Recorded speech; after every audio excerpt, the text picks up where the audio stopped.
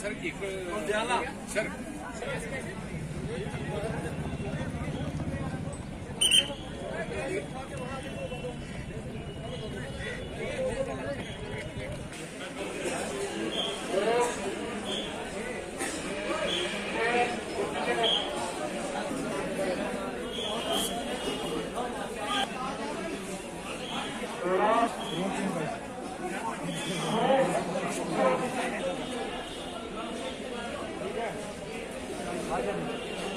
जी जी जी। उससे बचे चलो खिलाओ खिला भाई खिला खिला और ज़रूर चल हो जाए चल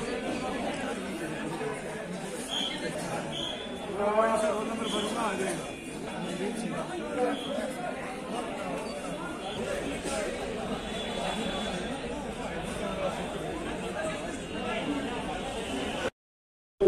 एक्चुअली केंद्र सरकार की तरफ़ से एक तोहफा है बॉर्डर के लोगों के लिए खासकर बिकॉज़ पिछले दो तीन साल में जैसे बॉर्डर पे काफ़ी प्रॉब्लम रही शेलिंग वगैरह होती रही तो उसके लिए हमने, उस टाइम जब मैं जम्मू था हमने एक प्रपोजल भेजा था सेंटर में कि बॉर्डर के लोग, क्योंकि उनकी बड़े पेक्यूलर सिचुएशन में रहते हैं तो काफ़ी इनको डिस्टर्बेंस रहती है तो उनके लिए कोई पैकेज दिया जाए।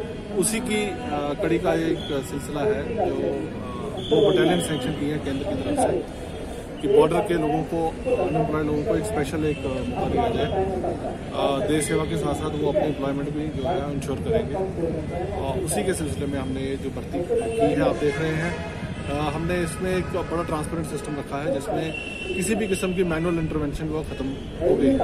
टेक्नोलॉजी यूज़ कर रहे हैं, जिसमें चिप लगाया हुआ है और उसमें हर आदमी का जैसे जैसे आपने देखा कैंडिडेट दौड़ रहे हैं। उनकी रिकॉर्ड हो जाती है कितने चक्कर वो लगा रहे हैं, कितने टाइमिंग में है। तो किसी किस्म की भी ह्यूमन एरर भी खत्म हो गया वो ह्यूमन जो है इंटरवेंशन खत्म हो गई है। इसी तरीके से बाकी इवेंट्स में भी हमने हर जगह टेक्नोलॉजी यूज़ की है। इसका सबसे बड़ा फ़ायदा ये है कि हमें हर किस्म की जो कंप्लेंट पहले आती थी कि कहीं कहीं फेवरेटिज्म हुआ या कुछ हुआ, वो खत्म हो गया सिल- सिलसिला। और इसका एक अच्छा एक पूरे एरिया में एक अच्छा मैसेज गया है। और मेरी तरफ़ से सभी को ये है यूथ सुबह से बड़े उत्साह के साथ जोश व के साथ यहाँ पे पार्टिसिपेट कर रहे हैं।